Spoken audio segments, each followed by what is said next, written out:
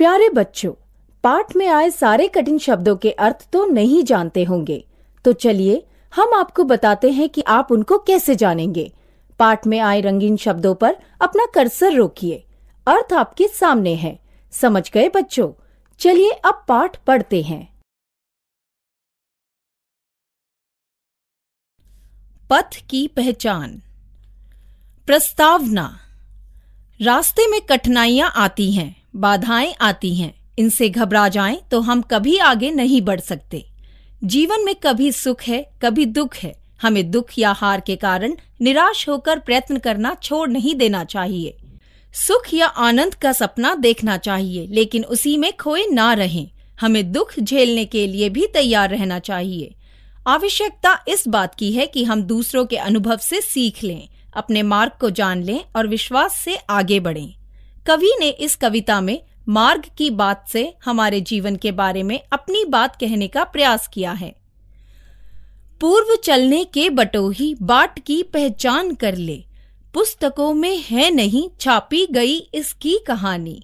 हाल इसका ज्ञात होता है न औरों की जबानी। अनगिनत राही गए इस राह से उनका पता क्या। पर गए कुछ लोग इस पर छोड़ पैरों की निशानी। यह निशानी मूक होकर भी बहुत कुछ बोलती है। खोल इसका अर्थ पंथी पंथ का अनुमान कर ले। पूर्व चलने के बटोही बाट की पहचान कर ले। यह बुरा है या कि अच्छा व्यर्थ दिन इस पर बिताना। जब असंभव छोड़ यह पथ दूसरे पर पग बढ़ाना। तू इसे अच्छा समझ, यात्रा सरल इससे बनेगी। सोच मत केवल तुझे ही, यह पड़ा मन में बिठाना। हर सफल पंथी यही विश्वास ले इस पर खड़ा है। तू इसी पर आज अपने चित्त का अवधान कर ले। पूर्व चलने के बटोही बाट की पहचान कर ले। है अनिश्चित किस जगह पर सरित गिरी गहवर मिलेंगे? है अनिश्चित किस जगह पर बाग वन सुंदर मिलेंगे? किस जगह यात्रा खत्म हो जाएगी यह भी अनिश्चित। है अनिश्चित कब सुमन, कब कंटकों के शर मिलेंगे। कौन सहसा छूट जाएँगे, मिलेंगे कौन सहसा। आ पड़े कुछ भी रुकेगा, तू न ऐसी आन कर ले। पूर्व चलने के बटो ही बाट की पहचान कर ले। कौन कहता है कि स्वप्नों को न आने दे हृदय में? देखते सब हैं इन्हें अपनी उम्र अपने समय में। और तू कर यत्न भी तो मिल नहीं सकती सफलता। ये उदय होते लिए कुछ धय नयनों के निलय में।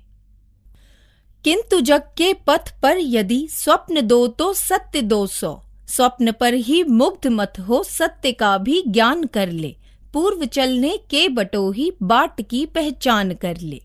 स्वप्न आता स्वर्ग का दृगकोरकों में दीप्ति आती। पंख लग जाते पगों को, ललकती उन्मुक्त छाती। रास्ते का एक कांटा पाँव का दिल चीर देता। रक्त की दो बूंद गिरती, एक दुनिया डूब जाती। आँख में हो स्वर्ग, लेकिन पाँव पृथ्वी पर टिके हो। कंटकों की इस अनोखी सीख का सम्मान कर ले। पूर्व चलने के बटोही, बाट की पहचान कर ले।